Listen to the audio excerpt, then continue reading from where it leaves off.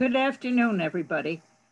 Um, I've been working with the LEAP schools for one year and four months as of today with Mamphela Ramphele, which most of you know is the co-president of the International Club of Rome, and with John Gilmore, the founder and CEO of, of LEAP.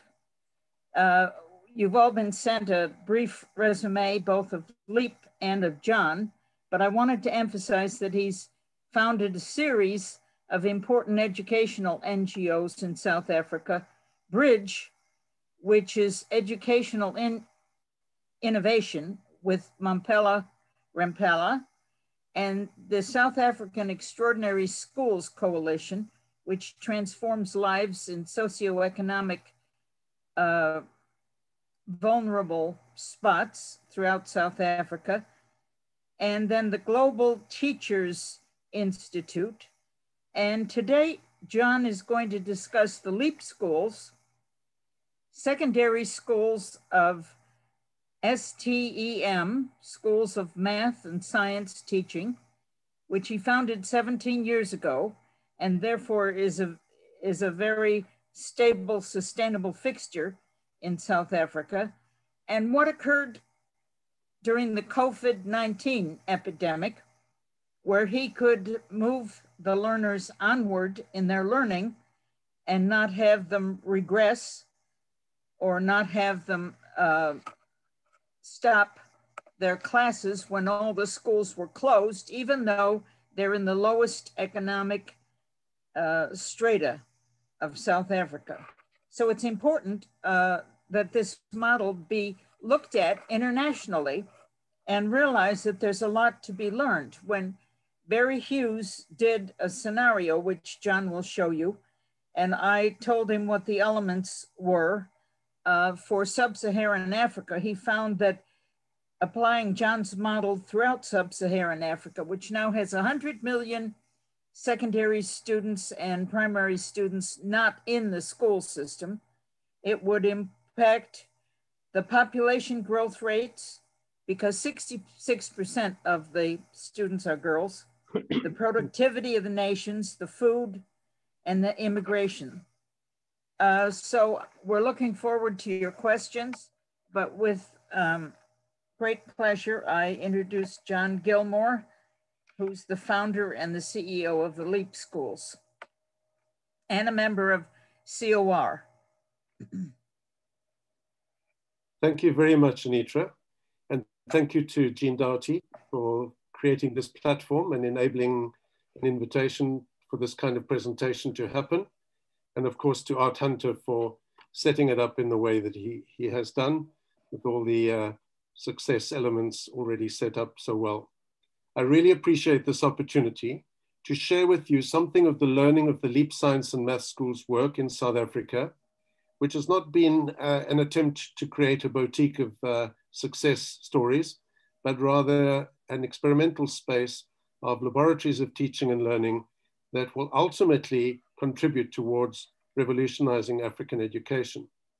The, the, at the core of our work lies the notion of self-liberation, and that self-liberation can only be achieved through consciousness development, and our focus area is children in sub-Saharan Africa. So the assumption that we are challenging really is a Eurocentric history in Africa in terms of education, which has left us with a, an education bureaucracy and very passive learning methodologies. And it's, it's my assertion that that's failed Africa. Our hypothesis really is that consciousness education needs to be a key focal point for a shift to a successful African education system. And I hope tonight to be able to share with you what the substance and the form of that consciousness education looks like. The current reality that Anitra so adequately sketched is that 94 million African children and youth are not at school. And it's getting worse. Millions are dropping out of school, compounded by the recent pandemic of the, the last uh, 12, 13 months. The result, of course, is not just that the dropout of school happens, but not leading only to unemployed masses of people, but to unemployable masses of people. And this represents a threat to peace. And as you would be very aware, the, the people who are greatest, at greatest risk in this kind of context, historically and in the present, are young women. So where are we? Many of the questions that were being asked in the 1970s under the oppressive regime of apartheid are still the questions asked by young people in South Africa. The society, you see, isn't healed. We achieved a, political, a dramatic political settlement in 1994, but the economic realities remain almost unchanged, and in some ways is considered to have gone backwards. So again, the children are asking those questions. Now, our methodology that we've developed is underpinned by educational voices, such as the voice of Abraham Maslow, who says what is necessary to change a person is to change his awareness of himself.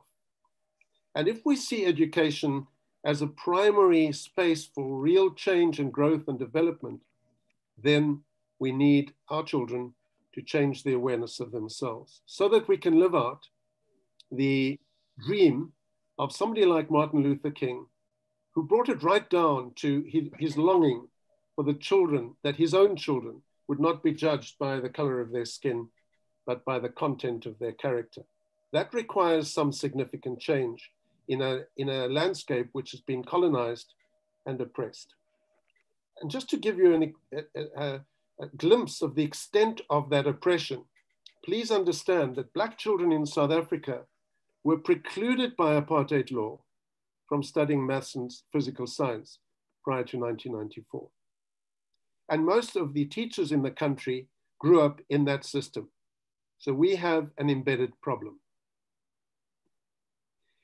Steve Biko was the founder of the Black Consciousness Movement, and he was the initiator, along with uh, Dr. Ramphele, our co-president of the Club of Rome, of the notion of Black consciousness, which was fundamentally in encouraging and endorsing people to seek their own liberation and not to wait for the liberation to come from outside.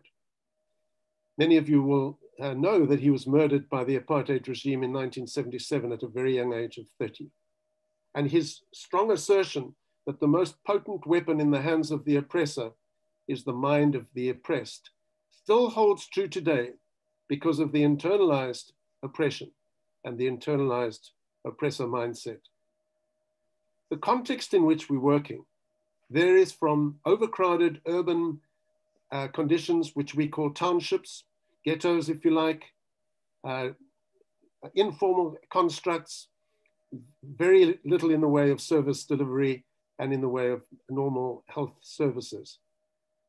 And these are the landscapes that we have chosen in our work to, to create LEAP, so that we can show that the hypothesis is real in any given context, and so that we can build big futures in the broken spaces of Southern Africa.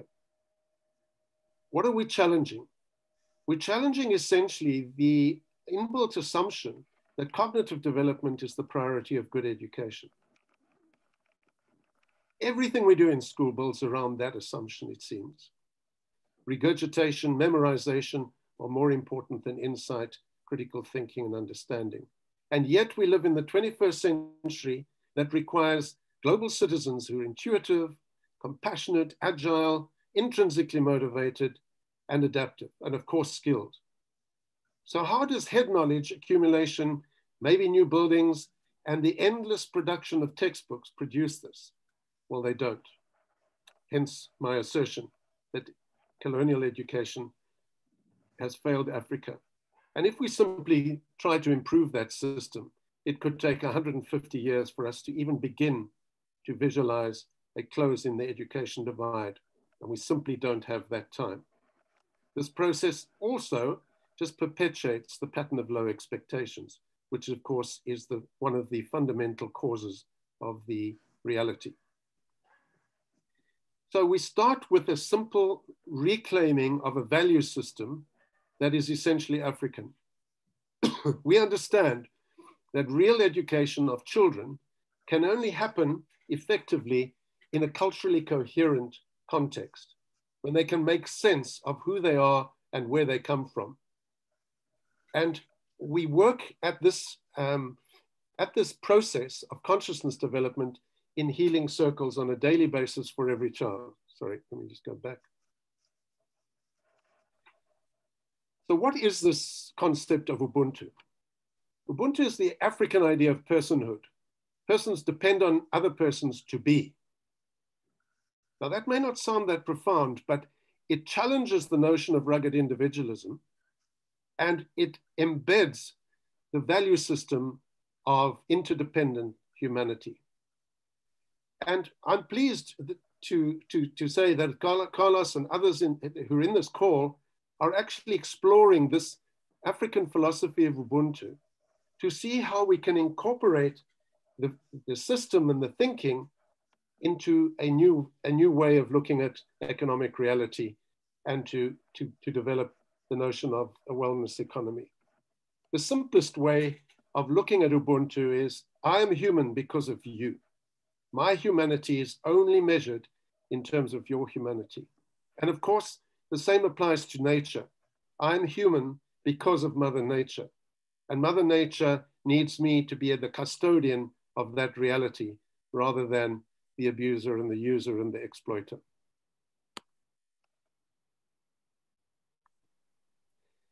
So we've been doing some revolutionary work, methodology, applied methodology, to try and work at unlocking the whole child.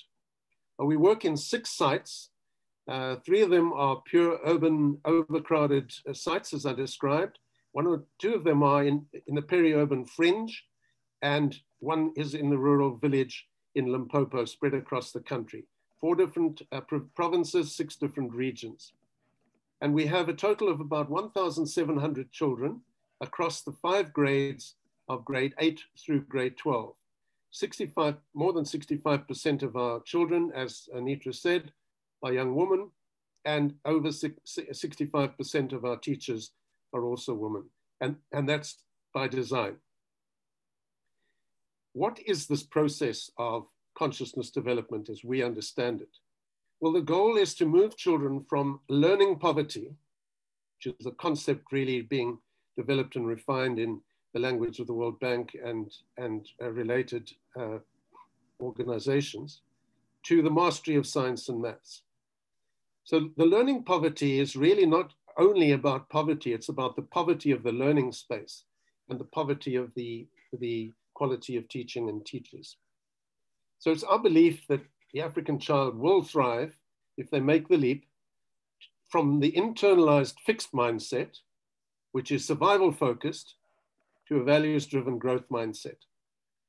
Now that's a mouthful, but I'd ask you just to pause on that. It's what neuroscience is telling us that for years we've had, we've imposed on children a fixed mindset of you can't do that because you're not clever enough, or you can't do that because you don't have enough support we, we are working to break that and we've broken it. it. It's a mindset that is reinforced when children are living in survival. We need to move that. What happens in the conversations that we have, the difficult conversations that we have in the healing circles on a daily basis, is that the child experiences a breakthrough and realizes something about themselves and starts to be able to step back and view their own lives and understand themselves with choices. And once a child understands that they have choices, even when they feel trapped or feel like there is no choice, there are choices, choices in how to respond to what you're in. Then the child starts to be believe maths learning is possible. And when the child starts to believe that, that this is just a hurdle that I have to cross, rather than this is the wall that stops me, in those moments, real academic success from the most unlikely places, if you like, growing roses from the cracks in the cement is what we're trying to do. And when a child breaks this failure fearing silence, because the silence of fear becomes very, very oppressive, and the consequent compliance, self liberation begins. And we, we've learned that instead of the teacher being the only critical element in the learning process, if you apply the Ubuntu logic of looking to each other for strength and looking to each other for mirrors that will tell the truth to each other, speak the truth to the power of the peer group, rather than reinforce what the peer group uh, na dominant narrative is, that's a critical element of self-liberating pedagogy. This support is provided in addition, obviously, to the teacher facilitating this consciousness, consciousness development process. And it can be provided by children supporting each other at an emotional level in these life orientation circles of healing every day for every child. And at an academic level in subject focused learning support groups, which can be face to face, but in recent months have been online. We have role models. We have wonderful African role models. Uh, we have Wangari Maathai, whom we all know was the first African woman Nobel Peace Prize winner. And she said, it's important for young women to know that it's okay for them to be the way they are, to see the way they are as a strength and to be liberated from fear and from silence. And we add the word to be liberated by themselves from fear and from silence with support of each other. And so our goal is to activate in each child, particularly in our young woman children who have to endure so much of a disintegrating patriarchy with all of the fallout that goes with that, to activate the authentic voice and to be willing to speak truth to power. This, of course, extends into the world of a deteriorating and disintegrating in some ways global uh, reality. And Wangari started with the basic encouragement that it's the little things that we can do that will make the difference. And so we put all of our children through the process of experiential action, citizen science, if you liked, planting, regenerating, working with unique plants such as the spekboom that sequesters carbon at an unprecedented rate so that we can regenerate ecosystems and so that we can encourage the young leaders of, of this era to be civic minded, but also to be activists uh, in terms of citizen science. Integrated into that, we also bring in the community nutrition and our schools become the sites of planting and growing vegetables, which are shared into the community. And we're trying to, in fact, develop uh, regenerating education, regenerative education for the new civilization that we all long for. And we have to do this by building young leaders who understand the need.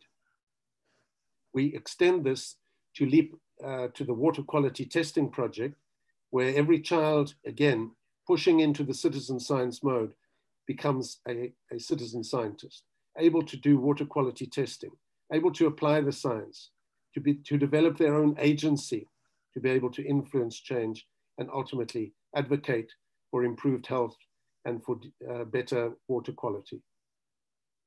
To do this, we obviously have to go through teaching conduct, conducting water sampling and analyzing samples, interpreting information, and so on. And the benefits to that uh, project, uh, obviously, we're in the process of that project, but the benefits are going to be very easy to predict. Not only that, we also push our children into the uh, specific science journeys of exploration. And this is an example of a, a collaborative project with uh, a nearby school where we participated in 2018 in the Sasol Solar Challenge, which involved designing and building a car, a solar powered car from scratch, and then driving it nearly 2,000 kilometers in a competition with seven other entities. We were the only school contribution, and we came third. The rest of the contributors were universities very proud of that, uh, that work as we break the shackles of history by giving our children symbolic successes that can be shared. Now, when we step back from all of this and we look then over the 17 years at what success indicators we have, we go to the traditional success, success indicators as because everyone understands them. So if we look at in South Africa, the national dropout rate from grade one through to grade 12 is 58% if you include the failure rates. In the LEAP context, we've restricted that to 85%. Access to university, because of the quality of the education we're offering, is 72% of our students have the right to access to university. Now that you've got to measure against the 21% average nationally, but more so against the 5% average of the communities in which we work. The average for the communities in which we work is 5%. Fortunately, even the, um, many of the, the 38, the, the 28% can also gain access to uh, other higher education institutions such as colleges. What's happened to our graduates when they've left school and they've gone to universities and to technikons and to uh, colleges is an interesting uh, pie chart here to show that 12% have gone into commerce, 17% into engineering, 19% into direct science and research, 13% into information technology, and we're very proud that 12% have chosen the high road and gone into education to become teacher activists, to give momentum to this uh, belief in consciousness development. Just as an aside, the LEAP family size averages with five siblings. At this stage, the early indications are that the graduates of LEAP will reduce their average family size to two siblings. There's no emigration from any of our students, and our students are driven to be agents of change in their own communities. And over 180 of our students have become teachers. Three of our six schools are led as principals. The principals of the schools are young alumni from the LEAP school itself. And what better way of, of, of, of sharing the success than having leadership that was schooled in the same uh, in, institution. You may wonder about the costs. We are a private institution because uh, we, we need to be outside of the constraints and bureaucracy in order to achieve some of these things. And if you take the average state cost per learner, without taking into failure rate, it's $1,700 per annum. LEAP is at a flat rate of $2,000 per annum. But if you then look at, you take the pass rates and calculate the actual cost, the actual cost for every graduate in the state system is $3,600 per year, and for LEAP would be $2,300.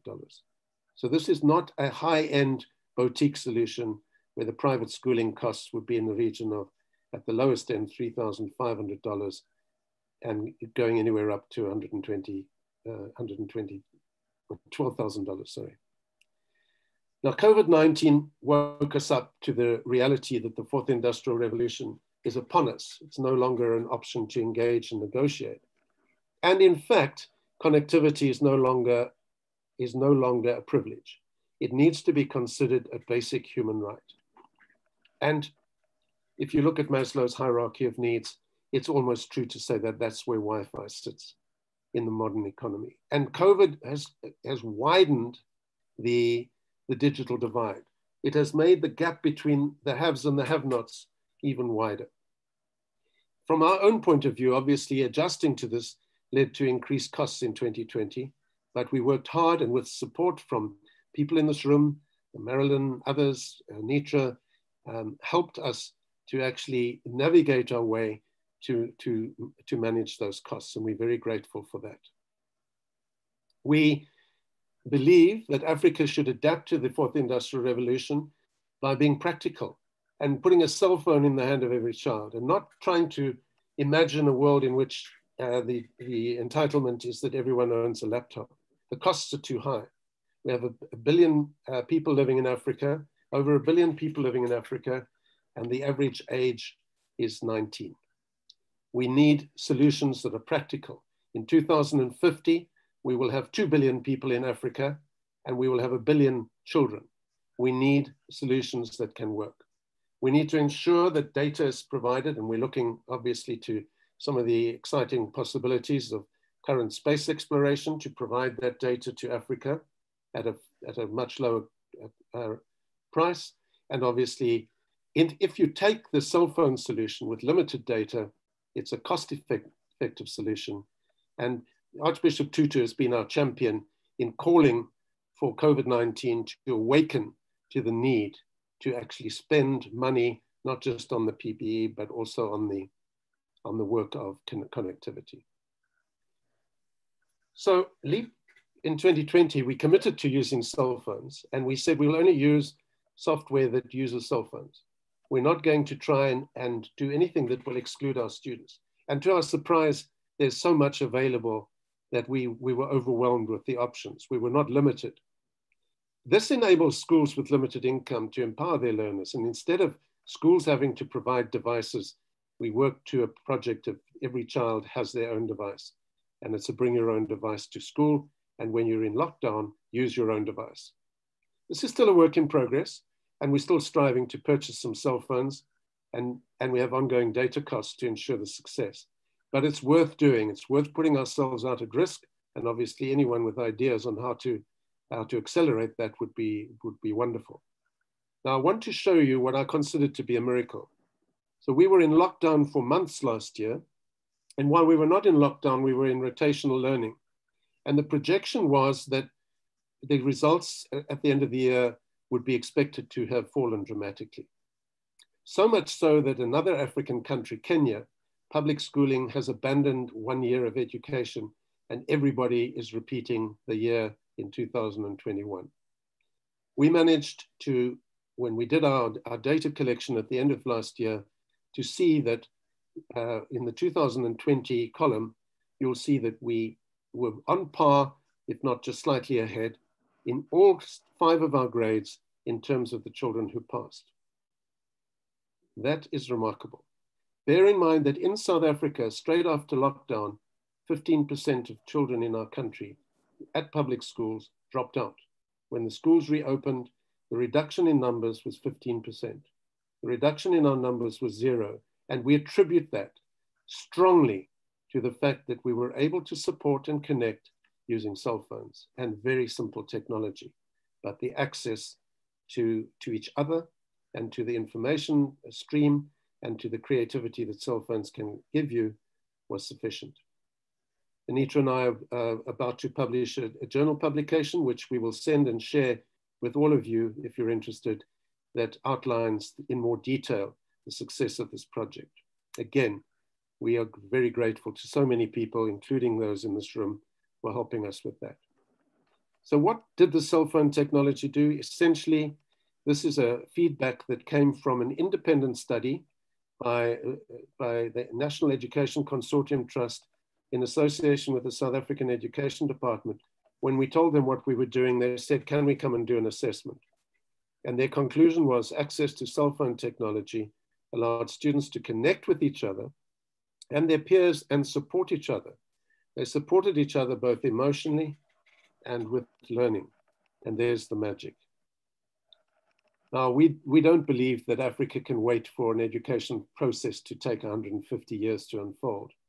We know that it's probable that there'll be some incremental improvement, but we do believe that the LEAP approach could be a truly liberating solution, especially for the women and children of our continent who struggle to gain access to learning and marketable skills. And what last year taught us was that even incremental improvement in our public schools was not guaranteed. And in fact, the trend is downwards. So we are trying to establish, a, and we're in the process of establishing, and we're in consultation with a number of uh, people to help us to establish uh, the LEAP Sub-Saharan African Education Institute, which will be for educational and life sustainability which will build around the consciousness shift logic, the, uh, build around the caring and the outreach component, use the innovation that we've talked about, and open new career pathways for children, which will be 21st century learning appropriate.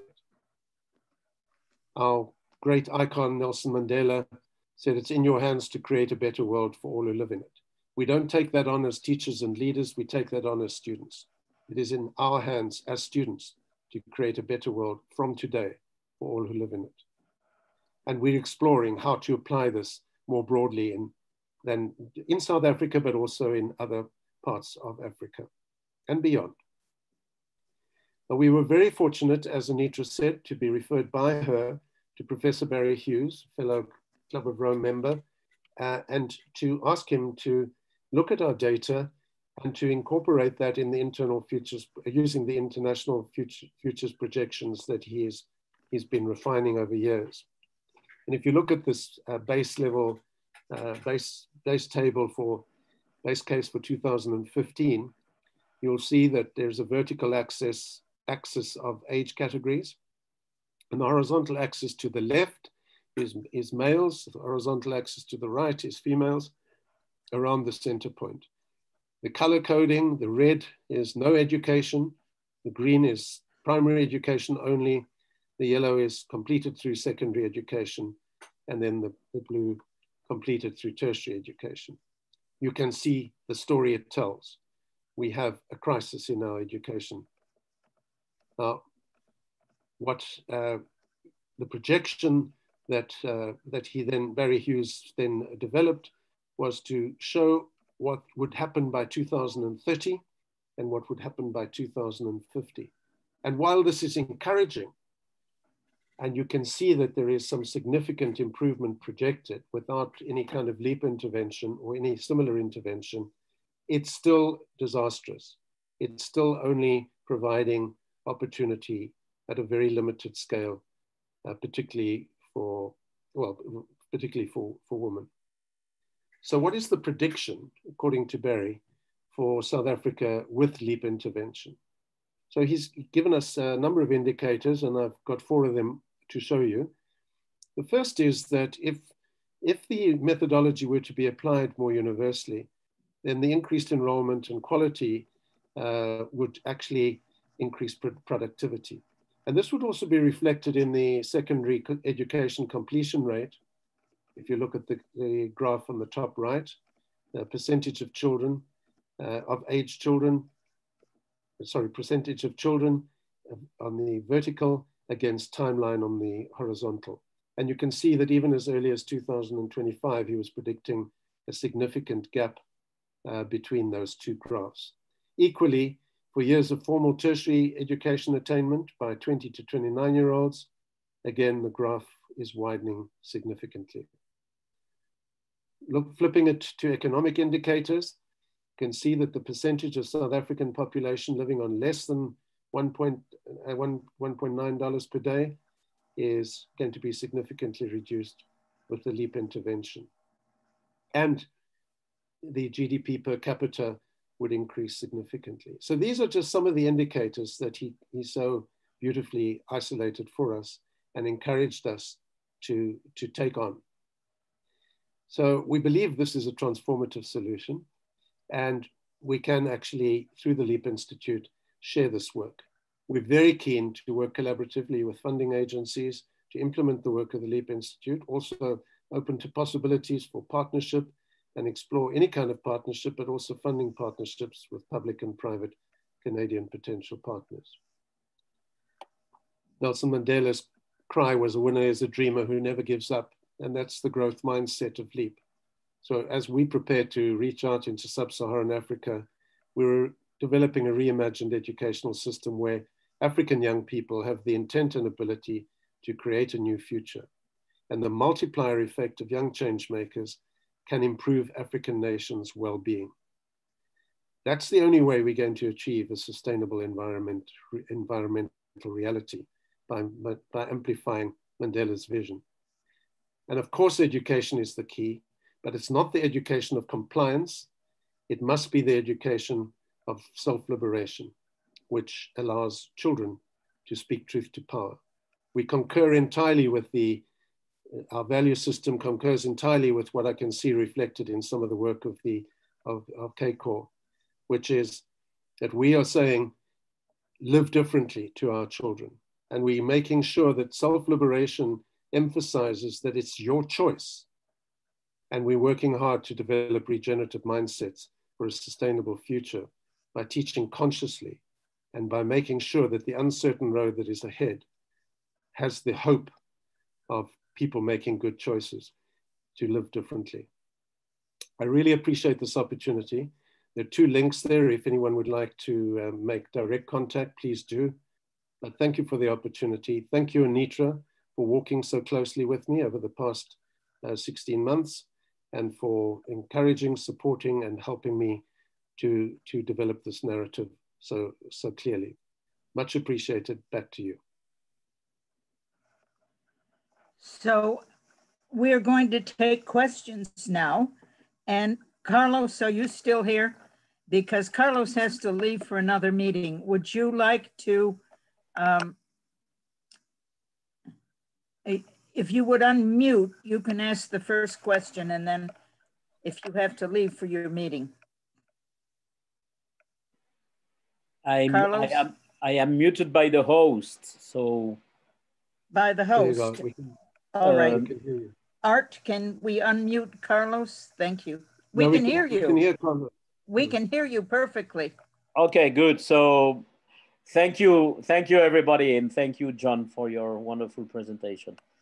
I mean, maybe a disclaimer is, is to say that I am a fan of yours and what you are doing and, uh, and, and the leap. I will only say one particular reason why. Because the, the way you do things is even much larger than the concrete purpose of making kids succeed in the present with the present educational standards.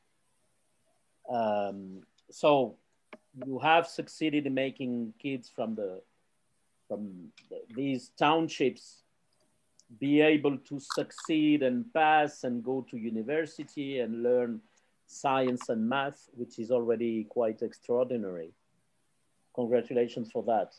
But in my view, um, the most important thing is that by, by using uh, in, in practical ways, really innovative pedagogic methods, you are giving them the capacity to learn by themselves about futures which are basically unknown.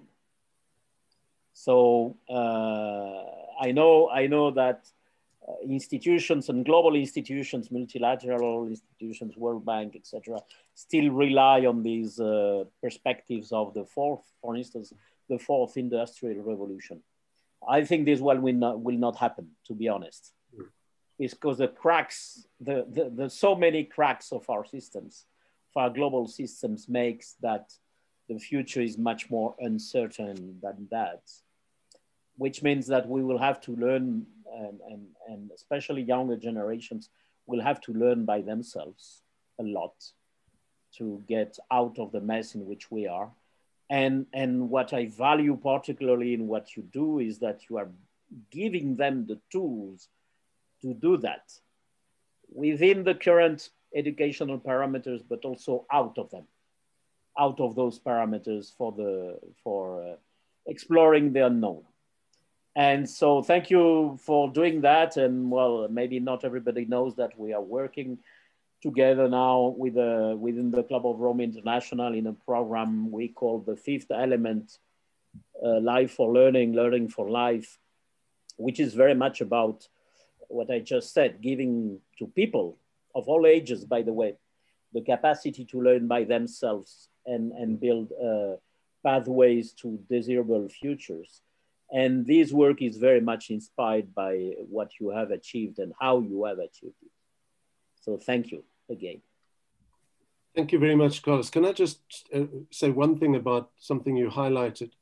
It's when you're doing the paradigm shift, which we're trying to do, we, we don't want to use the traditional measures. We want to count what counts, not what can be counted. But historically, the system counts what counts, what can be yeah. counted, as opposed to counting what counts.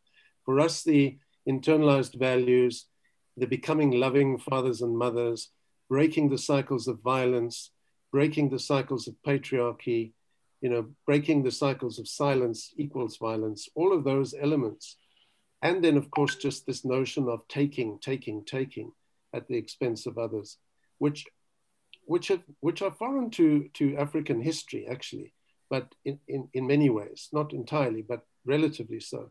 We have to reclaim that and and find new ways of measuring what matters, which is another yeah. way of counting what counts. We've got to measure what matters rather than measure what what uh, is meaningless sometimes. Absolutely.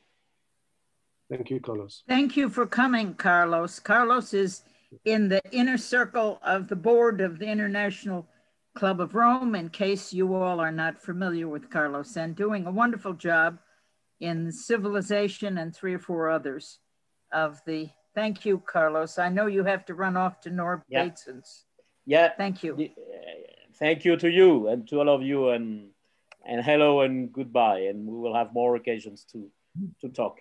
The next question Bye -bye. is from Jean Doherty, followed by one from Marilyn Mosley Gordonier. Jean?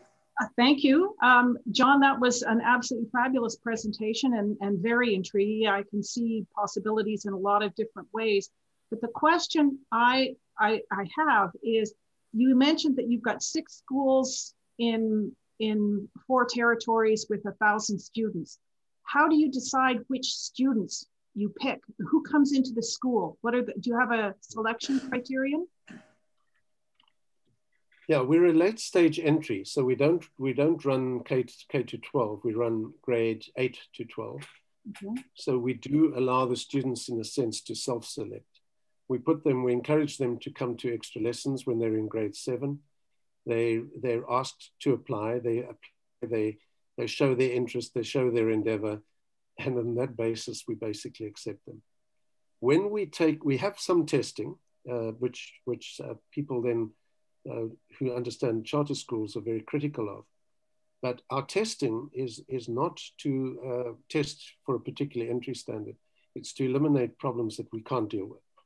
So just to give you an example, the mathematics test at, at grade seven level, the average uh, gap between the students coming into our school and where they should be is for maths between four and six years. So when they come in as 13 year olds, they actually, on average, have the so called ability of a nine year old. And so, so, you know, we start with that as a given. We don't start with that as an exclusion. We never take a child who's already been into a um, advantaged or privileged context. So if somebody's managed to find a way into a, a unique uh, opportunity in a school where they're on a scholarship and they want to come back to the township, we say, that's your opportunity, you follow that. Our job is to open opportunity for children who are faced with no choices. Um, so there is some testing. There is the uh, work ethic demonstration that, that the students have to apply, and we take them on a camp and, and they show their interest and their ability to, their desire really. And on that basis, we have to make selections. And of course, we're oversubscribed by hundreds. Um, but bearing in mind that we, we're trying to do this as laboratories of teaching and learning so that we can share that as quickly as we can with the system.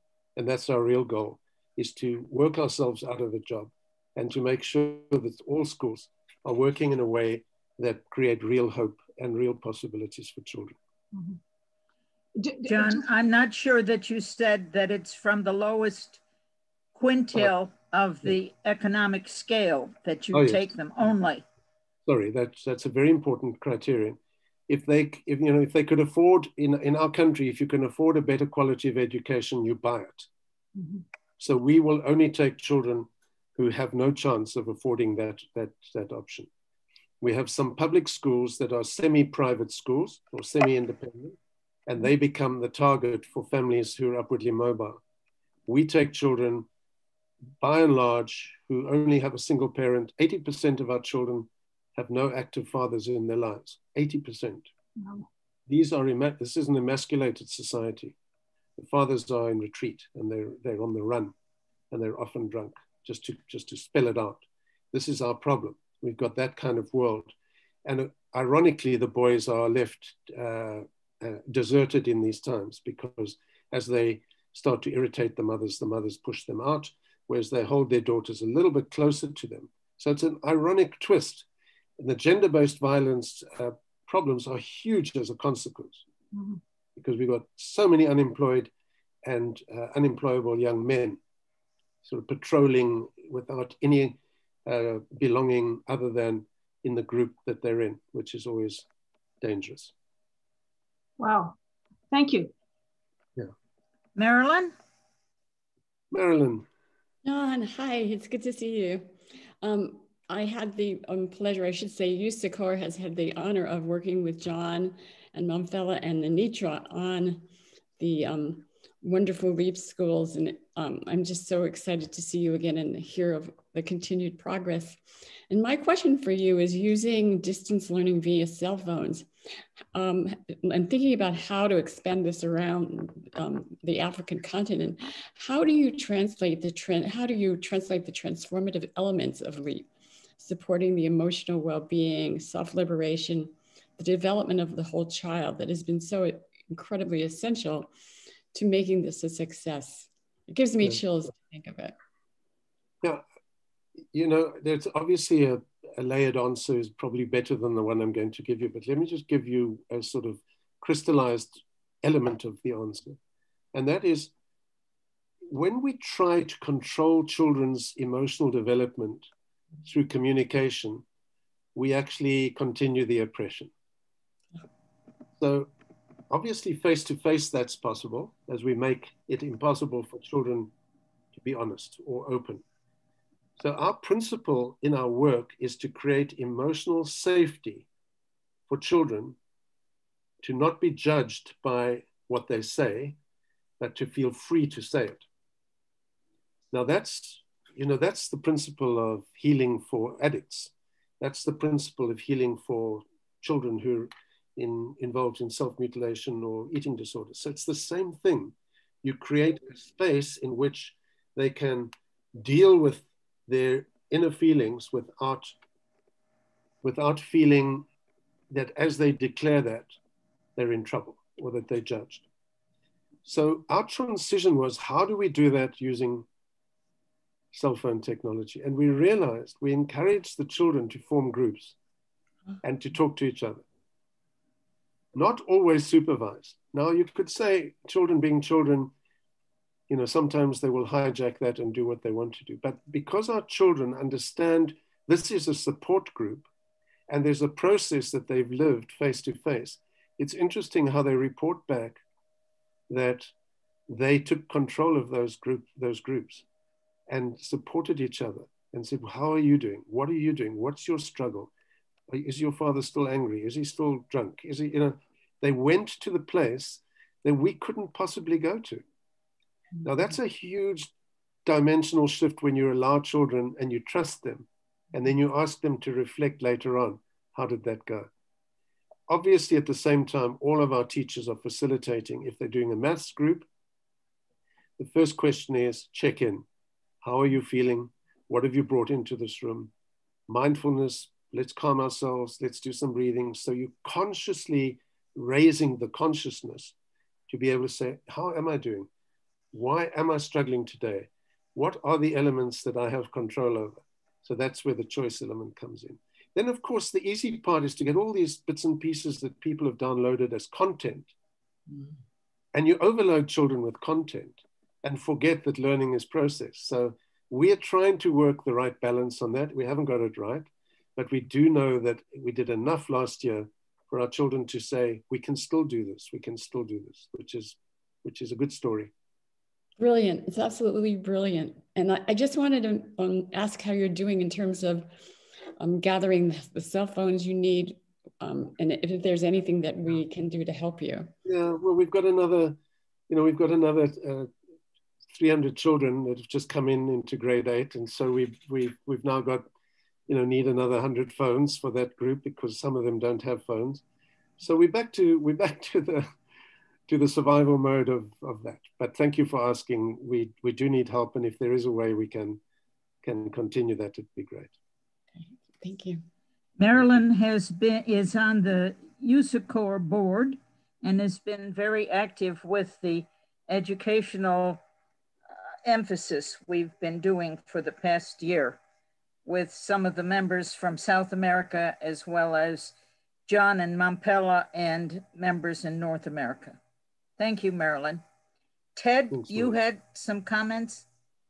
Yeah, this uh, this is very familiar to those of us who worked in almost every country, even rich ones, where they have peripheralized places or or, or uh, disadvantaged groups.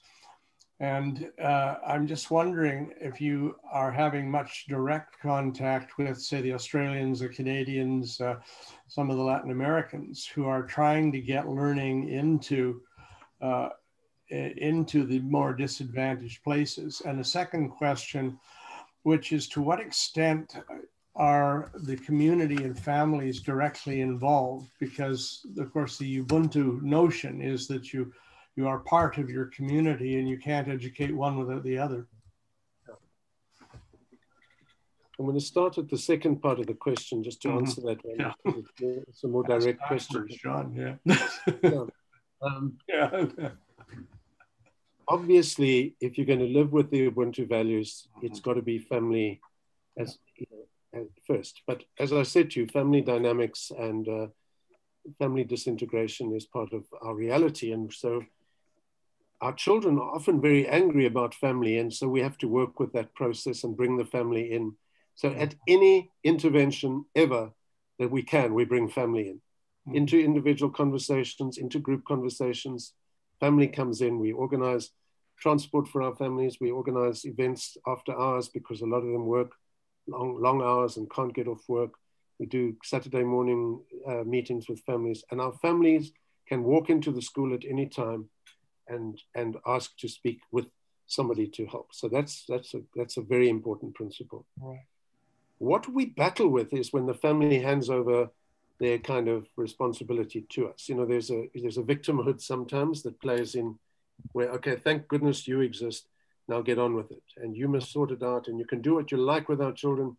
If you have to beat them, beat them, do anything you like. You know, it's a really strange, but quite understandable in some ways. So that's a tough navigation all the time.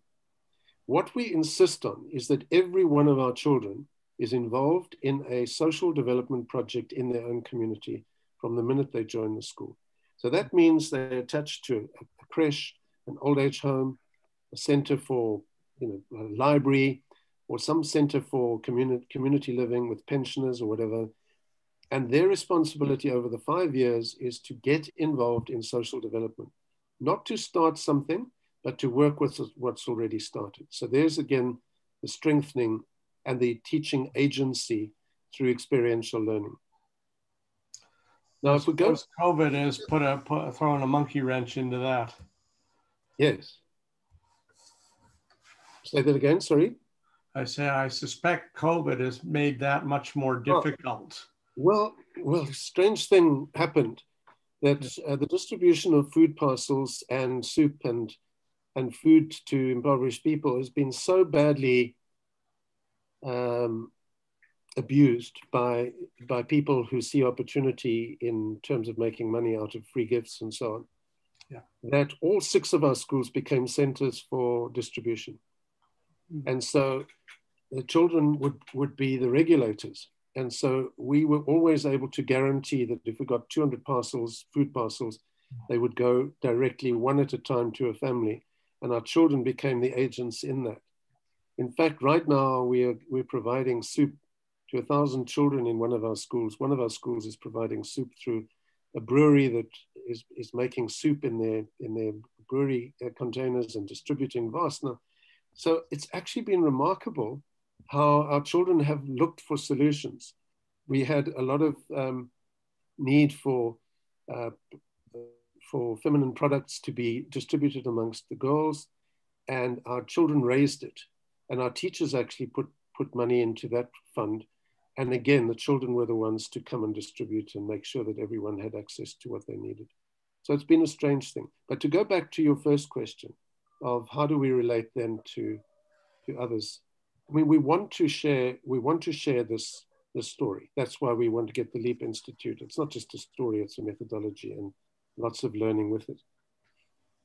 Uh, we've worked quite a lot in, in America with partners, particularly Silicon Valley partners, to try and help us to shape our thinking around what is useful in terms of uh, technology and digital so on.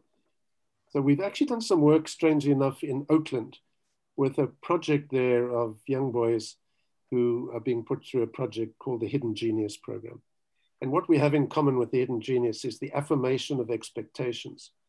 And we've really enjoyed that and they've brought a group out to South Africa, and we've had groups into their project as we've explored the transfer, if you like, of this methodology. Because the one thing that doesn't happen in that particular project is the self liberation.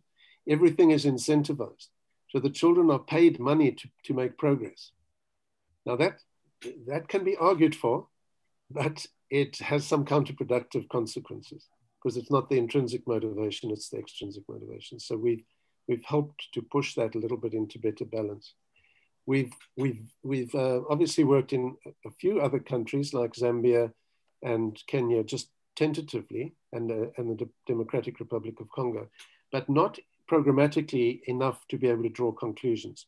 All we know is there's a great hunger for this, for this kind of work. So we really need to set ourselves up, and that's where Anitra is really helping with Mamphela to position us to be able to set up a better platform for that kind of sharing. Sorry, that was a very long answer. Oh, thank you. That was very good. Cameron, you had some questions?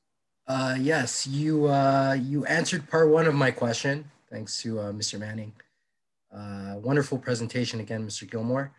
Uh, the second part of my, uh, I guess, original question would be, um, with the advancement of China into the continent, um, or the development of the African Union, potential threats to your developments?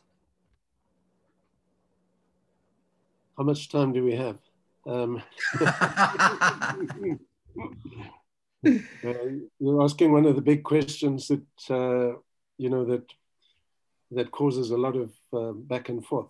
So let me just answer it from a practitioner's point. You know, from somebody who's trying to shift behavior and shift attitudes and be part of that shift myself. We will only be able to withstand the next level of colonial interference if we liberate ourselves. We cannot wait for another enslavement to happen before we wake up and say we must free ourselves again. So there are different kinds of neo-colonial realities. One is the commercial, materialistic, neo-colonial, let's call it the bold and the beautiful stroke McDonald's neo-colonialism which just invades and eliminates uh, unique uniqueness of landscape and replaces it with the uniformity, which has to be fought. Uh, uh, McDonald's and um, Kentucky Fried Chicken are, are, the most successful franchises in South Africa. So we have, and then if you watch TV, we we're playing reruns of The Bold and the Beautiful and The Young and the Restless and all these kinds of things. So there's that element of what I'd call emotional neo-colonial work, and then it flips over to gangster rap and to a whole lot of things that actually reinforce subculture and don't reinforce culture. So there's that. Then there's this ominous reality that our politicians are selling out to the highest bidder, hmm. and that the highest bidder is China.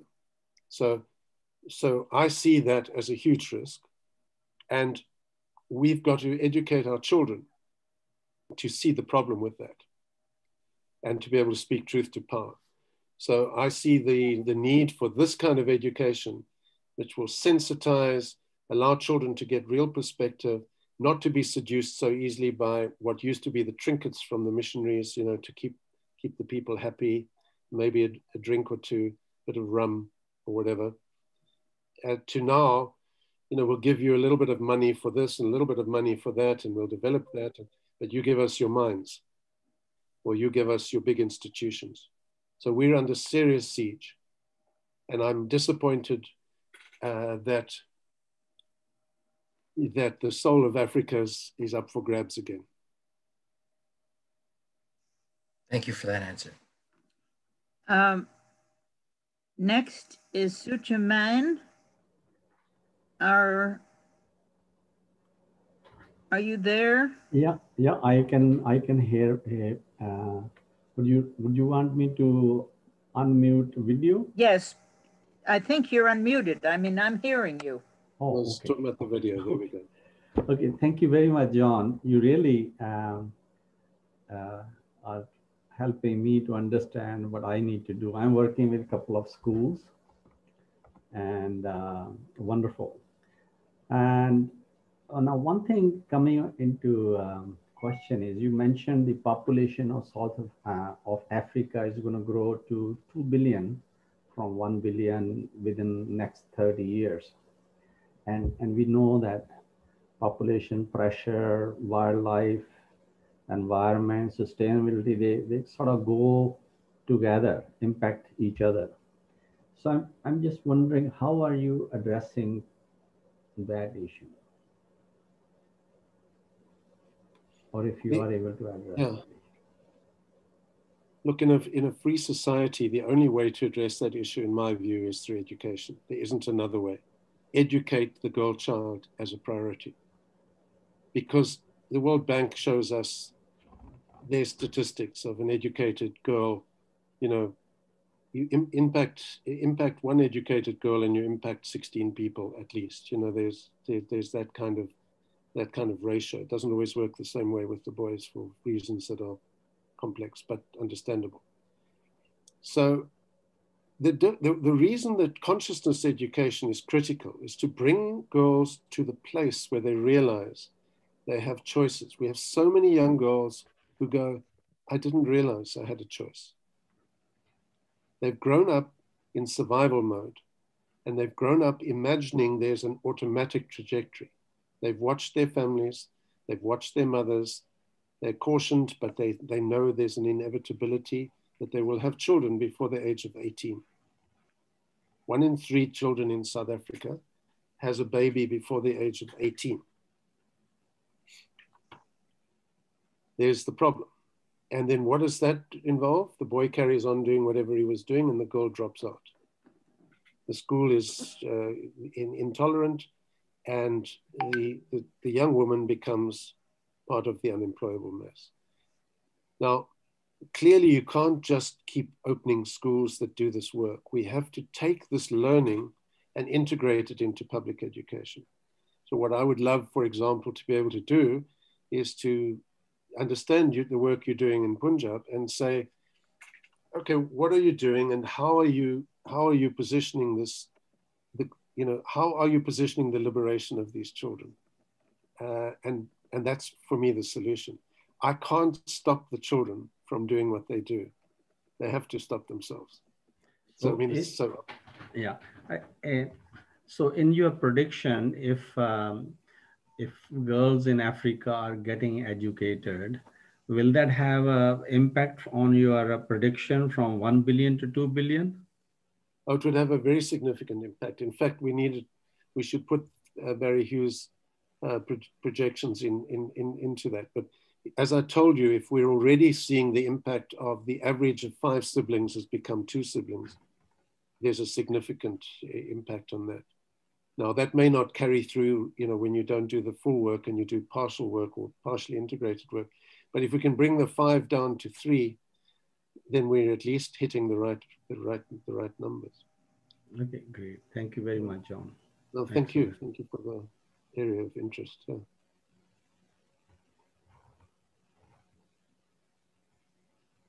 I'm wondering whether other people from the floor might have uh, comments. Valerie Hume is still with us, um, and she has been the uh, one of the driving forces with Madeline Aubry in CACOR about women's uh, rights.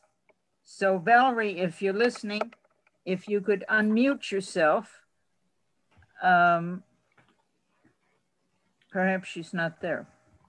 I've asked her to. I'm, I'm here, I'm here. Good. I'm wondering what your comments are on his, he has 66% female uh, students and they've done extremely well. And, and, I think that we would find that where there were other uh, opportunities for women in African and in other countries, that the women can do very well indeed, that they aren't always given the opportunities. I'm so glad to hear that these young women are given, being given the opportunity. Three, three of our, our six schools are led by young women the principals and their ages range from 28 to 31. And they were graduates from the school. So there is absolutely no doubt in my mind that when young women experience self-liberating learning themselves, they become ambassadors, passionate ambassadors for the work. And really that's what we need. We need a cascade here. It's not going to happen in a linear, you know, one plus one. We need the multiplier effect. So I agree with you. And the young women take to these opportunities with voracity and purpose, which of course then helps them to make better decisions about their own bodies. And, and when and there are enough people like that, enough young women and enough young women making such success of, of their, their opportunities, it simply encourages more to do so. Well, there's nothing more powerful in a broken community than a positive role model. You know, when when the when the, the role model, they look at people and say, How does she do that? How is she managing that? And she's open to have the answer, to share the answer. Isn't that beautiful? That's when that's when real peer education is happening. It's not the education of power, it's the education of of uh, humanity, just sharing, you know. It's very impressive to hear what you say. Thank you. And I understand your passion for that too. To take, I'm the father of, of twin daughters. And I've, you know, as they've grown up, they're 22 now and just finishing their university degree. So I've lived with them the, the reality of being a young woman in this in a society like ours. And it's not a simple matter you know, and to rise above that requires activating resilience at the deepest possible level. But once it's activated, oh, the power. Thank you, Valerie. Thank Jeff you. Passmore is the next commenter. Thanks, uh, John. Uh, very uh, stimulating, very interesting presentation. Um, I'm wondering about something that may be too much of a luxury, but my question was whether or not as your students uh, become more educated, they start to worry about things like COVID and vaccines and uh, other topics such as climate change, or uh, is that simply just uh, uh, you know beyond the the scope of their concerns, uh, given the pyramid diagram that you showed earlier in your slides? Well, I mean, the whole goal of our organization is to liberate from the lowest level of Maslow's hierarchy of needs. If, if, if children get trapped there, they get trapped in the entitlement of poverty. And the entitlement of poverty is almost unbreakable in, when it becomes a practice of learned helplessness. So when, when you activate children at a very young age of 13 as they are forming their values of, in, through the period window of adolescence. The, the issue is not to rush the issues, it's to, it's to give the insight so that the children can step back when an issue is presented. I can tell you that young African children living in squalor understand the sustainable development goals more, more naturally than children living in privilege. They just understand them differently. When you understand hunger, you understand the problem with sustainability. So what we do is we work with the children to give, to ask them to step back to see what's happening and to describe how they feel about the inequity. If you start with the unequalness, then surely it's not that far to go to the matters of uh, climate change and, and sustainability. So we get our children planting we get them planting in, in regenerative projects. We get them harvesting. We get them hands in the soil. We teach them the beauty of that and the joy of, uh, of being in that process. That's for life. I uh, thank you for that. And I, I think a really nice takeaway from what you just said is don't rush the issues uh, rush the insight. but uh, um, so on the COVID thing, there was a there was a TED talk. Sorry, I just have a quick supplemental. Um, there was a TED talk recently by a woman who had spent a lot of time working in Nigeria, and uh, you know the whole issue of vaccinations. Uh, and in this case, she was talking about uh, polio, but that the problem wasn't with women uh, or with girls, but with um, she didn't use the term, but I'll use it, uh, you know, uh, traditional medicine men who have all these superstitions uh, that, uh, you know, uh, getting a vaccine is going to give you, uh, you know, AIDS or, or whatever other myths that they're, that they're perpetrating. And her main takeaway was, and one that I've lived with for many years, is that it all comes down to trust. And, you know, you, you really need to build trust in order to move anything forward. I mean, if people don't trust you, then science doesn't matter. And if people do trust you, science doesn't matter. And that doesn't mean that science doesn't matter. It means it all comes down to trust.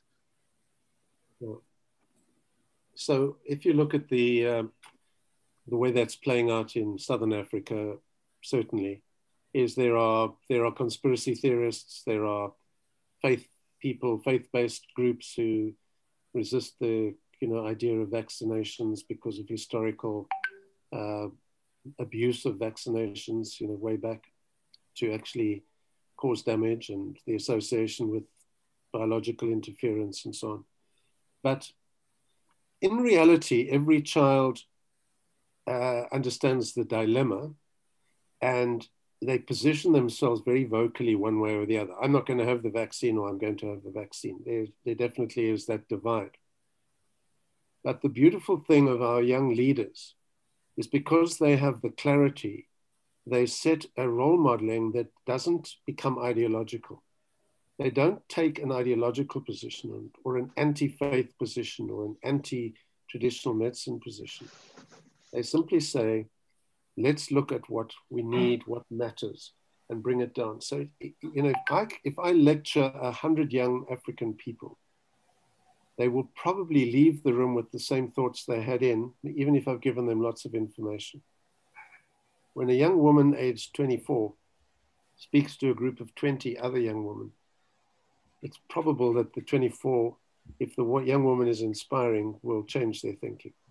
So really there's, there's no greater power than the power of young role models. It just isn't a greater power. And we've got to develop them and free them and say, get out there and do it. The activism of youth. That's how our country achieved liberation. Through the, Thank you. consciousness. Yeah. Ted, did you want to comment on this population question? I, I, just wanted to say that John has led perfectly into one that's coming up in a in a few weeks on population issues globally, and he has I think made the point very clearly that education of women is probably the single most critical factor. In fact, there's some interesting books out there looking at trends by country. And by and large, women's education can be found to be something like uh, it's, it's first amongst 10 factors, and it covers about 50% of the causation of causing uh, or correlating most strongly with population uh, uh growth reductions. So I just made my one point is that uh, what you have said is probably going to be covered in spades in, a, in another month. And please come and talk to us at the time or come, come and be on that panel if it's of interest to you. It certainly would be of interest. And I want to just I want to just counter, counter my own voice in there. I think that education of women in isolation, just women, mm -hmm. is dangerous. Yeah. Because you're looking for societal shift. Mm-hmm. So the best kind of education is the education that amplifies the right to every voice yeah. and makes sure that the patriarchy is is uh, suppressed, if you like, or at least eliminated.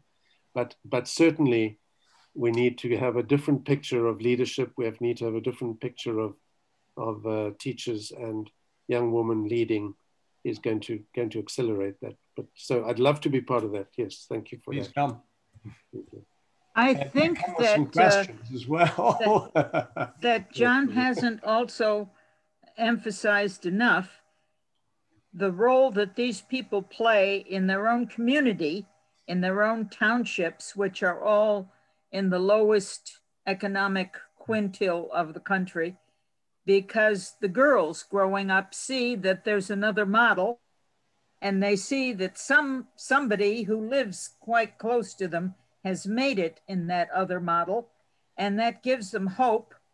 And it also is very very pleasing to the older women. I have only met the younger women who are students. I haven't met the older women who are their mothers, cousins, aunts, uh, and so forth, grandmothers. But they, they're wildly pleased in the photographs that this young woman from their economic background and community has made it. So everybody knows about her and she becomes a very important model for the entire community, wherein they had none before, no models. If I may, uh, I just want to follow up, John, on what you just said about the education of women in isolation is dangerous. I, because when when Ted was speaking, I began to worry about what has become, to some extent anyway, conventional wisdom. I had a friend who spent his career working at UNICEF, and it was all about educating women, educating women, which, um, you know, obviously, especially when it comes to things like birth control, is key. But uh, um, what your your uh, response uh, leads me to ask you then.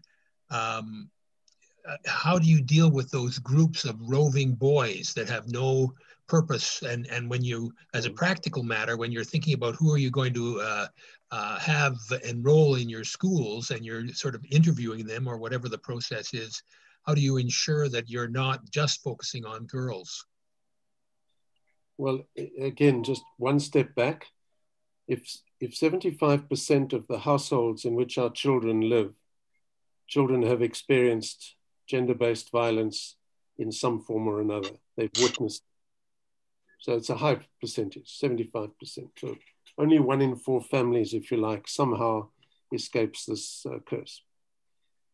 The perpetrators of gender-based violence are 98, 9% male. Mm-hmm. So we have to do two things. We have to prepare a young woman to be able to deal with that horror, that reality, and navigate it while it exists. And in parallel, we have to start to develop a brigade of young men who have insight on their own patriarchal tendencies and their own history of entitlement and their own abusive patterns that they, they've, they've had for generations uh, shown to them, compounded by families being separated by migrant labor. So it's, it's, it's multiple complexities. It's no, no blame in this. It's just that's what it is. Yeah. So I don't think we can afford to take a single view on this you know, teach teach women to do karate. Right. Let's teach women to do karate. That's great. You know, lots of organizations are saying that's the solution. That's not the solution. We're defending what shouldn't be happening. We're teaching people to defend what shouldn't be happening. But of course, teach them to do karate if that will help in a particular given context. But can we not get boys and girls? Because the girls carry the anger of their mothers about men. Now, if you've had three generations of failed uh, familial frameworks, and the pattern is that the men abuse and leave, what does the child internalize? The child is, and the child is a boy. Our boys cry about this. And they say, everyone thinks I'm like my father. And I am like my father. What do I do about that? You know?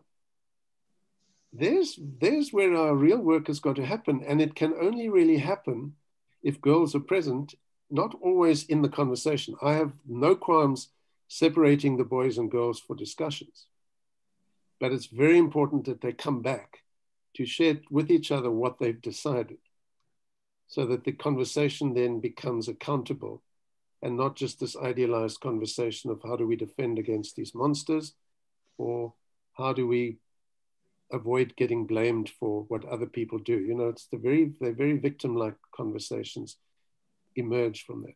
But it isn't easy. Uh, you know, it's, it's a, this is a tough territory for, for um, Africa. Not, not easy. Art, what, what, Art Hunter, wait a minute. Are, are we almost finished with this? Because time is growing short and Art Hunter still has question. It was, I was just going to ask for a quick number, like in your six schools, how many students are girls and how many are boys? So 66% are girls.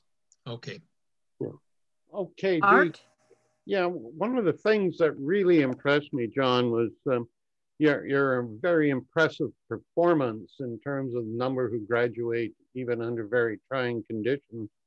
And uh, I would think that that possibly the mainstream educational system might want to be picking up some of the techniques that you're using, um, and uh, which also suggests to me there might even be some resistance within society that means that you are are um, taking on the status quo and and uh, causing social disruption.